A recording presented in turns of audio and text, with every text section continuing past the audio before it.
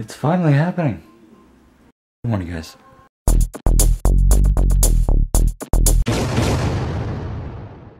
It lives. It's there, trust me. Feels so great to have this computer back up here. And one of the things that I wanted to talk about today, because I know that this day is gonna, it's gone flying by.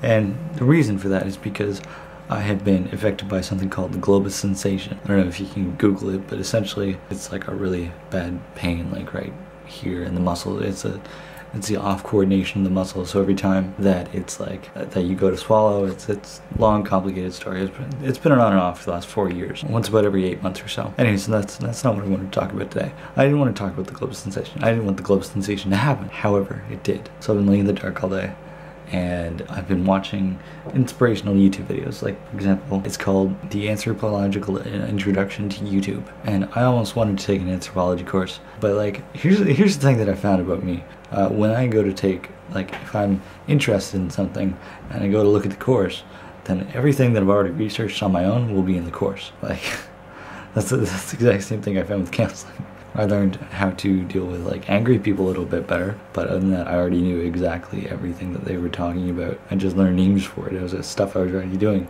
I mean, maybe counseling is different than like accounting, but I have no interest in accounting, or else I would probably research it myself. You know what I mean?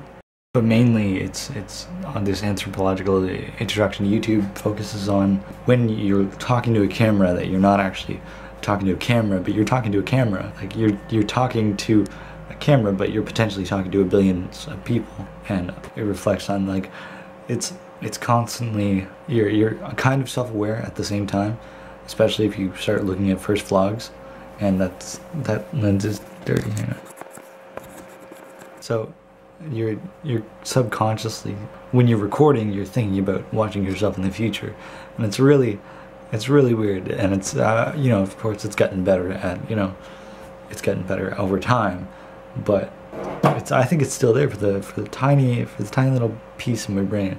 It's like, hey, this could go to anyone anywhere in the world, and would you be okay with that?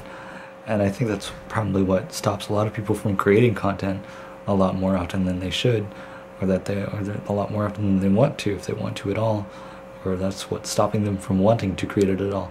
Is that the fact that it can be seen by anyone at any time, at any moment in any place of the world. And that's what he said. Michael Wesch. he's a anthropologist, and he said it is at the same time the most public and the most private place in the world because it's you, it's your home, it's your own place, wherever that may be, and at the same time it can be seen by anyone that wants to see it anywhere in the world. And I thought that was really astonishing and that's that's inspired me for a long time. It's just that possibility and that potential to reach anyone. So if there's going to be a link in the description to the video. It's about an hour long. It's a presentation that he gave in 2008, and I mean, a lot of the figures and a lot of the relevancy has changed since then, but it's still a really really good informational thing.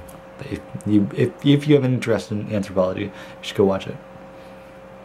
So like now that I said that last night about photography being the new business kind of thing, uh, maybe actually, like do films, film, films, films, films, do films in the meantime.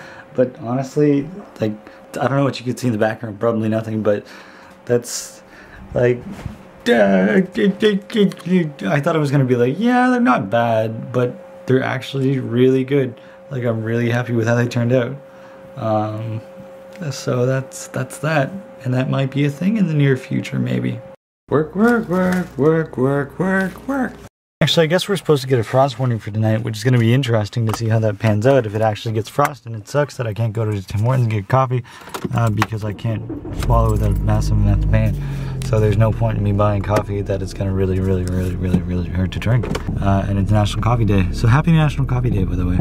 Well, guys, it's been like 14 hours in that uh, the globe sensation is still there. I actually came from work early because I couldn't stay awake on the phone. I was I was literally sitting there and falling asleep going forward and like as I was talking to people it's bad and now I'm home and now I'm gonna go to bed and uh, hopefully I can sleep tonight and this globe sensation will be better tomorrow. What a sensation. I love you guys. I'll see tomorrow. Good night.